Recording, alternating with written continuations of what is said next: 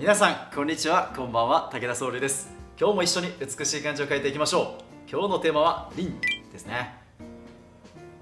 皆さん難しい文字の法則ってご存知ですか？それはね口とか火とか田んぼたこの四角い系の字があればあるほど難しくなるんですよ。こういう経験あると思うんですよ。なんか口って雑に見えちゃう。もう輪なんて見てください。これ3つも入ってるんですよ。だからね口を楷書的に綺麗に書くだけだと少し難しすぎるのでぜひね皆さん実用ではね行書を覚えていただきたいんですよね。なんかね楷書って使いやすいと思うでしょ見やすいし。でもリアリティに欠けるっていうかなんか普段こう使うには時間がかかりすぎちゃうんですよ。だからこそ、まあ、楷書に近い行書であれば誰でも習得できるんで、まあ、途中ね大筆で行書を解説してますんでぜひ皆さん行書をね習得してみてください。その前にチャンネル登録がお済みでない方はチャンネル登録をしていただけると嬉しいです。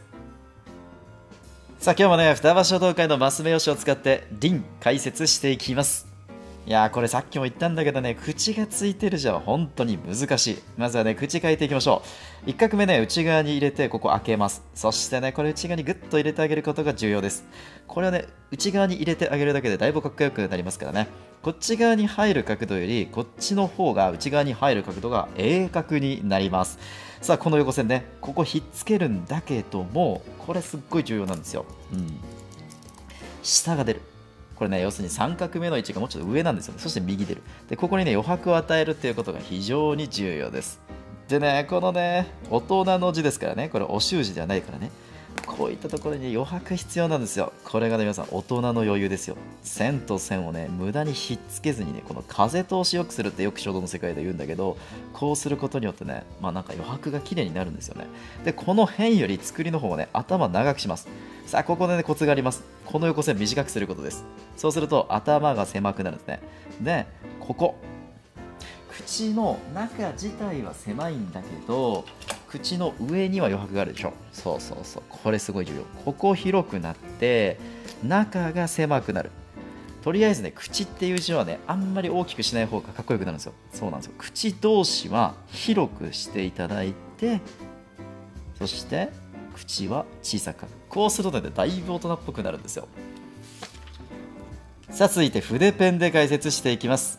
筆ペンで書くときってねこうべちゃべちゃにね太く書いてしまいがしまいがちなんだけど大人はねこうやってあんまりやっぱ太くしないことコツです。それにこれね画数ちょっと多めなんで画数多い時は、えーと、細く書いてその分やっぱり線と線の間を離す。パーツ同士を離すっていう感覚なんですよ、まあ、筆ペンで書くとそれがより分かりますよね。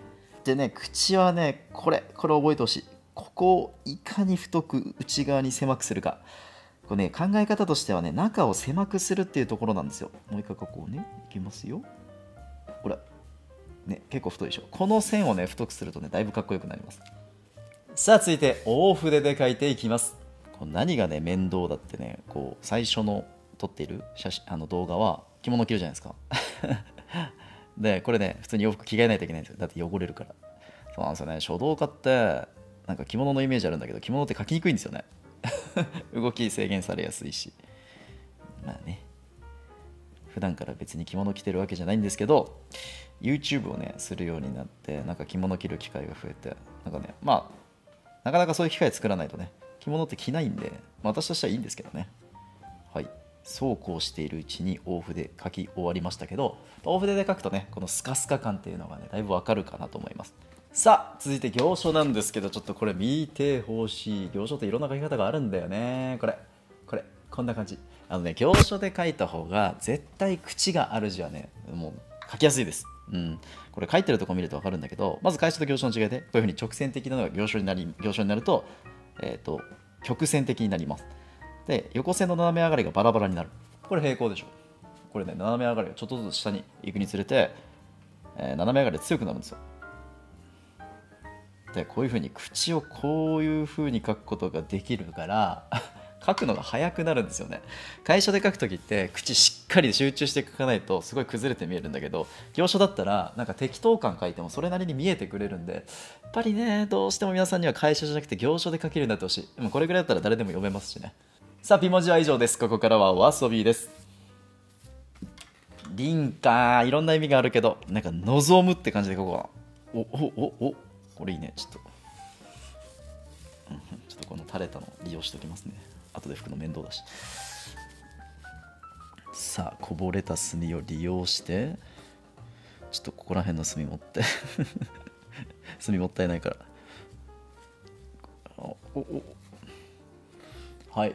望む感が出たんじゃないですか？あのねこういうアートってね適当に描いた時にねよくいいのが生まれたりするんですよ。ほらなんかこのポチとか面白いでしょ、うん、さあ今日はねなんか臨海って分かんないけど リンがこう海を表すのか知らないんだけどちょっと海っぽい感じにしたいんでこのブルーね3色合わせて描いていきます。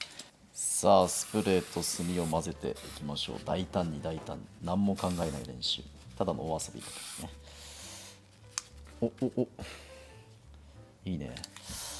そうなんですよね。何も考えないことっていうのもねすごい大事な人生ね遊び心大事ですからね。よいしょ。あこれ綺麗だな。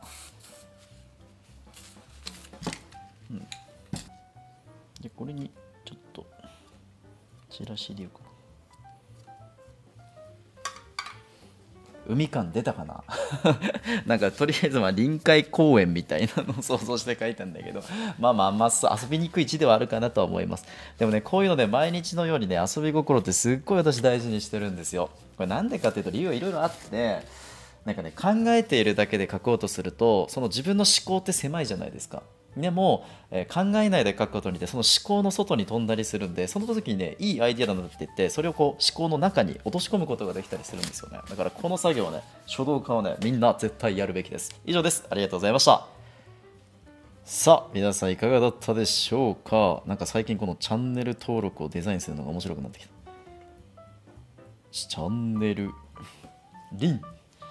登録。あのね私の人生って本当遊びなんですよ。でまあ遊ぶためにはね技術基礎が大事だと思ってるんでまあそのために勉強してるようなもんなんですよね。あ字間違えた。いいか。はい。ということで皆さんチャンネル登録よろしくお願いします。改めましてこのチャンネルではピンチ筆ペン大筆そしてお遊び。ね、えー、ここがポイントかな。字ってね綺麗に書くだけが、まあ、書道じゃないよっていうことをお伝えしたいっていうのもあるんですよね。ぜひねチャンネル登録とそしてグッドボタンを押していただけると嬉しいです。